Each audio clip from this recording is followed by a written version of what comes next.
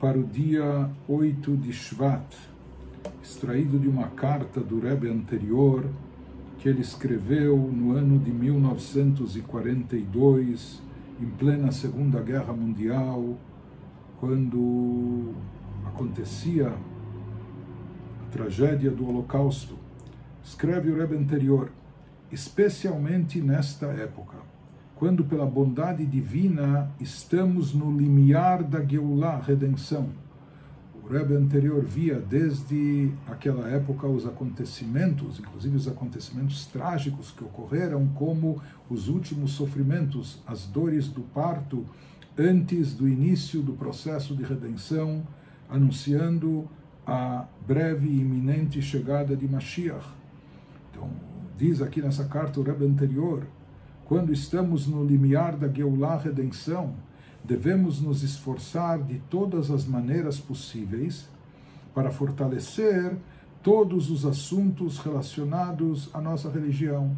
Ou seja, esse momento exige de nós, espera de nós que a gente se fortaleça, fortaleça a nossa fé, se fortaleça em termos espirituais, reforce a prática religiosa, o cumprimento de Torah e mitzvot, porque nós estamos no limiar da Geulah, da redenção. Então é o pouco que falta para ir para desencadear esse processo, para isso na prática acontecer. As mitzvot devem ser cumpridas com hidur. O Rebbe diz, nós devemos não somente cumprir os preceitos bíblicos, mas também cumpri-los com hidur, significa com capricho, de forma esmerada, procurar fazer as mitzvot com todo o capricho, não apenas cumprir os requerimentos mínimos assim, mas fazer de uma forma esmerosa, caprichada. E não somente o cumprimento das mitzvot, dos preceitos, mas acrescenta o Rebbe anterior, hoje em dia nós devemos ser cuidadosos, escrupulosos, deve-se cuidar de todos os costumes, sem nenhuma concessão. Existem coisas que não são mitzvot, não são preceitos obrigatórios, ou não são alachot que comprometem, não são leis também obrigatórias, mas são costumes, e alguém pode pensar, é um mero costume. Mas nós sabemos que Minhag Israel, os costumes judaicos, mesmo não sendo uma alahá obrigatória, não havendo, não sendo algo imperativo, mas os costumes são algo muito sagrado dentro do judaísmo, e esses costumes tradicionais, ele nos diz que também devem ser observados sem nenhuma concessão é uma mitzvah e uma obrigação de todos os rabinos do povo de Israel.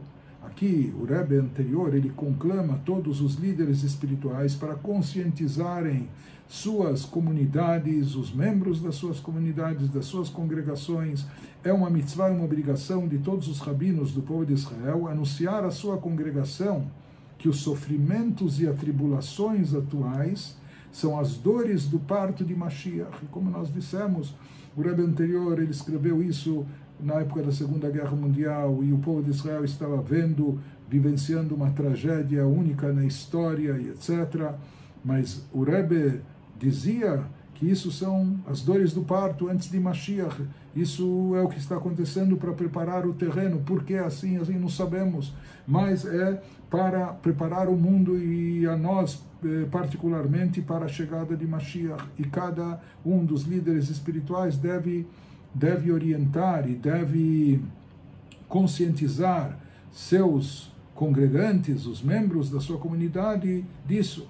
Deus exige de nós que retornemos a Torá e as mitzvot. Ou seja, o que o momento clama, o que, que Deus está pedindo e exigindo de nós é que façamos chuva, que retornemos às origens, retornemos à espiritualidade, retornemos a Deus, ao cumprimento de Torá e mitzvot, para não atrasarmos a iminente vinda do nosso justo Mashiach, que venha brevemente de fato.